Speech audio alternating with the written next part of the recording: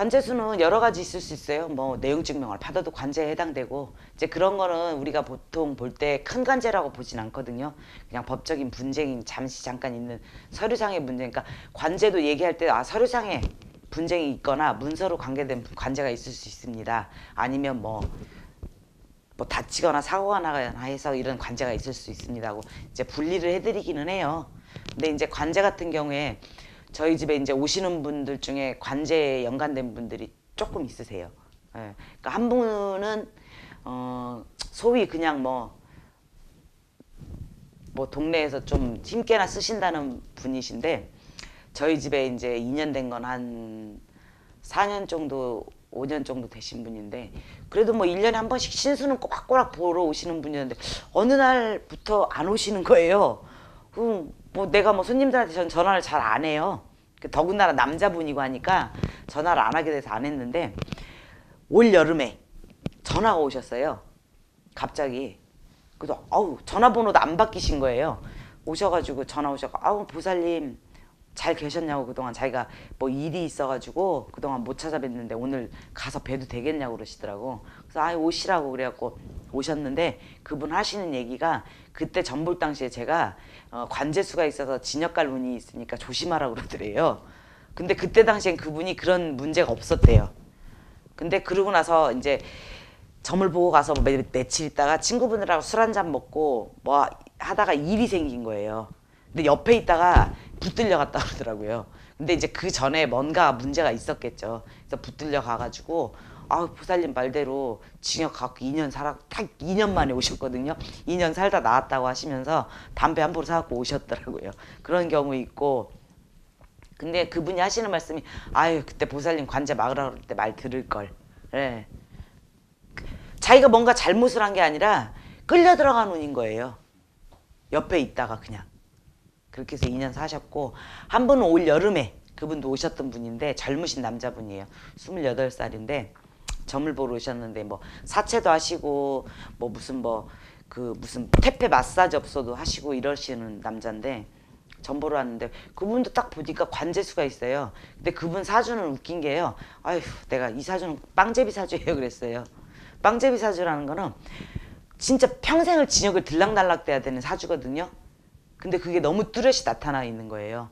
그랬더니 그 남자분이 웃으면서 맞다고 그러시더라고요. 자기는 잘 잔잔한 진역을 많이 살았다고.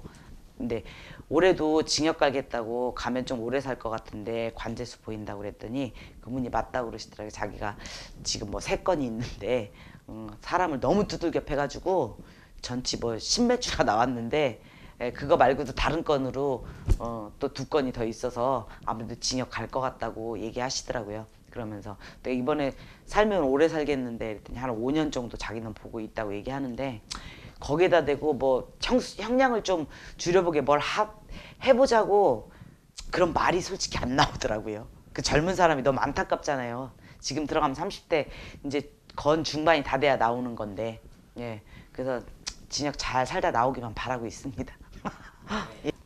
간호사였는데 성형외과 간호사였어요. 근데 그때 당시 나이가 24살인가 그랬는데 수술방 간호사니까 이제 수술 전문으로 하는 간호사였는데 음, 그 성형외과 매니저가 소개를 해서 저희 집에 왔어요. 그래서 점을 봤는데 제가 그때 그분 보고 사고수가 있으니까 친구들이랑 어디 멀리 놀러 갈일 있거나 하면 가지 말아라 그랬거든요. 근데 제가 한 열흘 정도 있다가 소식을 들었는데 그 매니저분이 오셨더라고요. 그러면서 보살님 그때 그 애한테 그때 그분이 같이 오셨거든요. 어디 차 타고 놀러 가거나 그런 일 있으면 가지 말라고 하셨죠. 그래서 왜 그러셨어요? 하고 물어보는 거예요.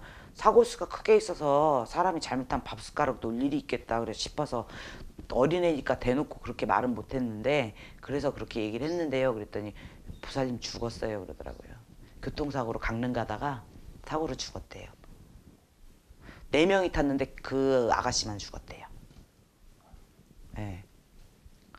그러니까 뭐 사고 관제가 사고로 있을 수도 있고 예, 관제는 여러 가지로 나타날 수는 있어요. 근데 그분 같은 경우에는 관제로 보진 않고 사고수로 본 거죠.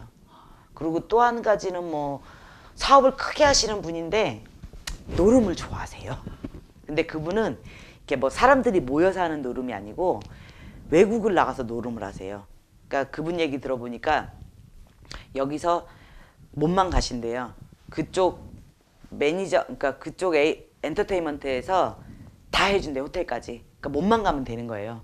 가서 이제 거기서 돈도 준대요. 여기서 외국 돈을 못 갖고 나가니까 거기서 쓰고 국내에 들어와서 갚는 아니면 국내에서 미리 넣어놓고 줘놓고 거기 가서 받거나 이러시는데 그분이 그, 거, 그거를 어떻게 계속 못 끊고 계속 하신 거예요.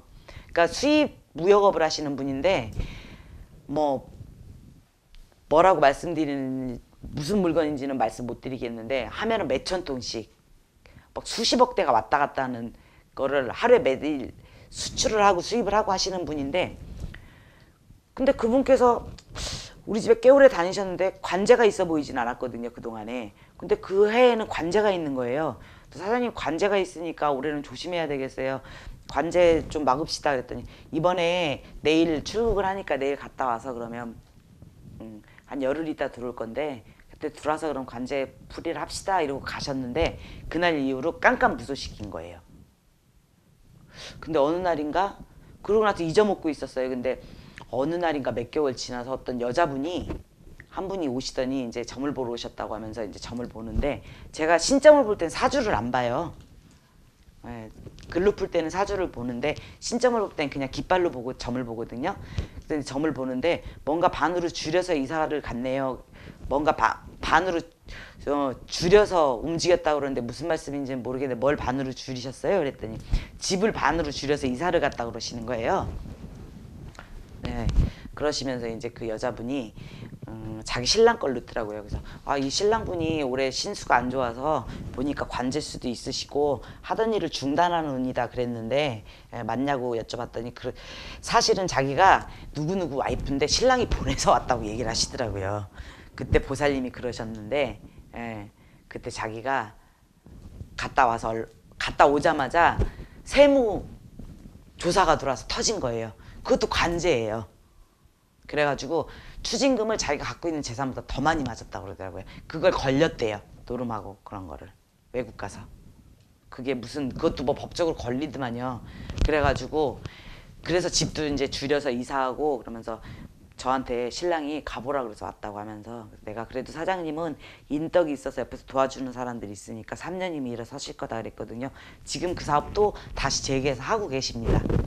예, 일단 나쁜 짓은 지금은 안 하세요.